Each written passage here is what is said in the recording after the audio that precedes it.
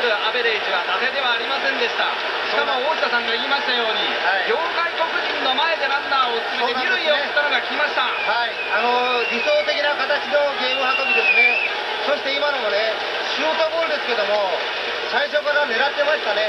これを引っ掛けないで向こうに素直に近いしたオマリーのね、技ありのバッティングでしょうね。ピッチャーサイドからはいかがですか？やはりね、オマレーが打席からね、ベースから非常にこう遠ざかってますよ。でやはりアウトコースをね、シュートを投げたいの分かるんですけど、まあ、外国人選手というのは、日本人のピッチャーが思ってる以上に手が長いんですね。はいリーチ届きますよ、あそこ。あれいっぱいだとね、ボテボテっていくんですけど、大率甘いですね。どうしてもね、どうしてもあそこは遠く見え大下さんがあのおっしゃいましたように両外国人の前でランナーを出してスコアリングポジションに進めて、はいそしてこういうふうな先制点東尾さんがおっしゃいましたように、あの送りバントのところでまっすぐじゃなくてバッテリーはヤクルトバッテリーはスライダー、そして今打たれたオマリーに対してももう一個なんか甘いみたいな。なんか阪神ペースでこの3回の表は1点が入りました。で4試合ぶりのスタメン復帰。パショレックです。最初出してもらえるようにと監督にお願いをしたんだけれども昨日はまあ待てと中村監督から声があった今日は出てくれというふうに首脳陣とも呼吸がぴったりあったそうですね。飛球の方向なんですけども真ん中よりも右寄りへの打球が随分多かったんですね。はい。この辺りはもう無理して引っ張らずにきちっと当てるということに本人も心をお気をつけていたようだという石井コーチの話もありました。そうですか。はい。につながってると思いますね。はい。両外国人選手が4割前後のアベレージをこのピッチャーの伊藤に残しておりますのでヤクルトの古田も苦労するかも分かりません出なかったんですよ。でも怖いボールですよね。5球目三塁ゴロゲッツーになりましたしかしえー今度はあのパチュレックでしたらね、あまりこうダッシュないですからね。そんな気持ちになればいいんだけどね、えーボックスでね。はい。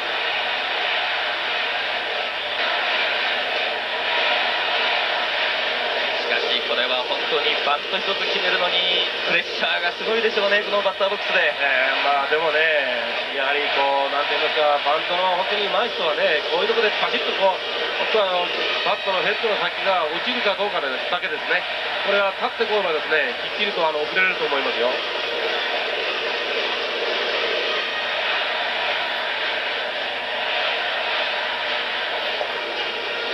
います水谷コーチ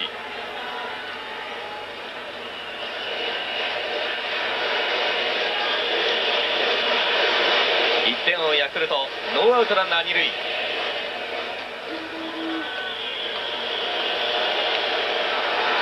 バント三塁前。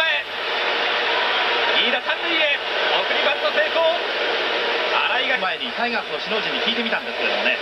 あれはもうマイク中田投手が投げたボールが完全にすっぽ抜けただけだっていうのが明らかになってるし、ええ。後で本人もすみませんでしたとお詫びを入れてるんでもう終わったこととして影響はないと言い切ってましたね。そうですか。あれだけのデッドボールを受けた次の試合というのは、えーバッターとしては、普通のね、打者ですとやや腰を引くんですけども、まあ、古田の場合はご覧のようにね、その気が強いですから、打ち上げてしまいました。内野フライ。さあ、ライト懸命に前進。セカンドが取るか。いや、ライトが取った。ライト亀山取りました。かうん、別にね、あの甘いってますか、高め浮いてますけどね、僕はね、古田がやはり初球のスライダーをなんて言いますか、思い切って空振りしましたよね、今もそうですよ、少しやはり左の腰が開いてる感じしますよね、左の腰がピッチャーに向かっていけば、もっとこうライナーで外野フライ僕飛んだと思いますけどね、やはり昨日のデッドボールの影響ありと。僕は意識あると思いますよ、古田の頭の中ではね。あ昨日までの広沢ですとね、このハウゲルをなんとか嫌ってということもあるんですがね。いや